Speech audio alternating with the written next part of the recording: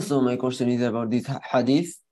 طيب الرجال ما طيب الرجال ما ظهر ريحه وخفي لونه وطيب النساء ما ظهر لونه وخفي ريحه.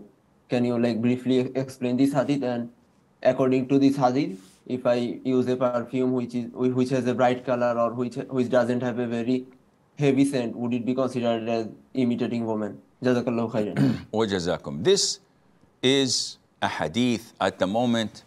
I'm not sure whether it was said by the Prophet والسلام, or by one of the companions, but it's a very well known hadith. I have to recheck it.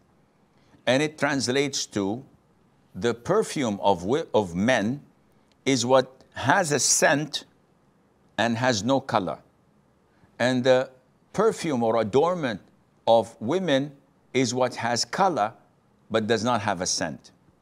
Now, this is regarding what a man or a woman may wear in front of one another, even if they were non mahram, providing it is not visible. So, a man can wear any type of perfume as long as it has a scent, strong, weak, it doesn't matter.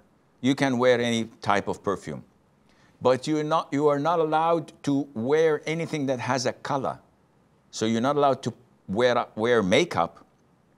You're not allowed to uh, put glitter on your body or wear henna, mehendi, on your body other than the recommended or uh, uh, uh, permitted areas such as the hair and your beard for the henna.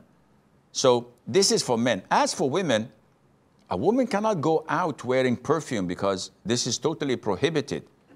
And the Prophet ﷺ made that a major sin. And one of the reasons to prevent a woman, a woman from going into a masjid if she's scented and wearing a perfume where men can find the scent and the smell of it.